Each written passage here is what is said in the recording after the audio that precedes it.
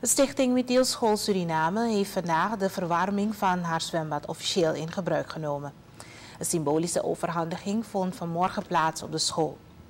Initiatiefnemer Nel Harkisoen heeft met het overhandigen van een onderdeel van de zonnecollector aan de ondervoorzitter van het bestuur, Joan Voogd, officieel de verwarmer in gebruik genomen. Hierdoor kunnen de kinderen in een verwarmde zwembad het voor meer comfort zorgt zwemmen en ook lessen volgen. Het zwembad is vorig jaar geopend na vanaf 2006 gesloten te zijn. Het bad is gerenoveerd met financiële middelen van het Staatsolie Sportfonds, sponsoren en vrienden van de Mithielschool. De school telt 75 leerlingen voor wie het zwemmen heel erg belangrijk is.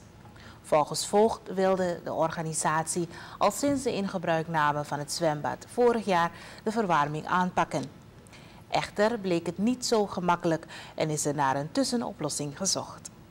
Surin, eigenlijk onze technische man, die heeft toen voorgesteld om een deel van het uh, dak uh, te slopen, wat we ook hebben gedaan. En we hadden eigenlijk gehoopt dat dat zou helpen. We hadden ook gekeken naar de opwarming van water, maar dat was buiten het budget. Dus we hebben dat uh, eigenlijk niet doorgezet. Dus we hadden gehoopt dat het zou helpen, maar um, de feedback die we kregen was dat het water nog steeds ijskoud was. Dus toen meneer Harkisoen hier kwam en zei dat hij wel een oplossing had en zelfs bereid was om zelf naar de gelden te, zoeken, toen dachten wij, dat laten we, dat laten we niet, ons niet twee keer zeggen. En ik moet zeggen, voor het heel erg on-Surinaams, voor we er goed over na hadden gedacht, waren de collectoren hier en stond Bart voor de deur. Tien dagen, uh, zaterdag een week geleden. En vanaf zondag tot, tot gisteren hebben ze gewerkt eraan. De kosten voor de aanschaf en opzet van de zonnecollectoren voor zwembaden zijn bijkans 6000 euro.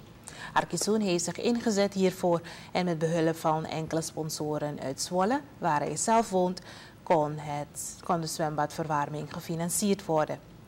Het bedrijf Poolheater heeft gezorgd voor de installatie. Het verwarmingssysteem is behalve milieuvriendelijk ook zuinig qua energie, zegt Bart Warmenbal, directeur van het bedrijf. Het is eigenlijk de absorber. Ik ben dus uh, fabrikant van de zonnecollectoren. Die worden gewoon op het dak gelegd. Het water van het zwembad stroomt erdoor en wordt gewoon opgewarmd, gratis opgewarmd door de zon. Het is heel efficiënt, het is eh, heel ecologisch en het is niet duur. Je hebt geen andere energie meer nodig. Dus uh, ik sta ervoor garant dat je de temperatuur van 34, 35 graden kan bereiken gemakkelijk. En dat zal heel plezant zijn voor de kinders. Bart Warmenbal, directeur van Poolheater. Dit bedrijf heeft de zonnecollectoren geïnstalleerd, waardoor de kinderen van de Mithielschool in een verwarmd zwembad kunnen zwemmen en ook lessen kunnen volgen. De Stichting Mithielschool Suriname is een school voor kinderen met een lichamelijke beperking.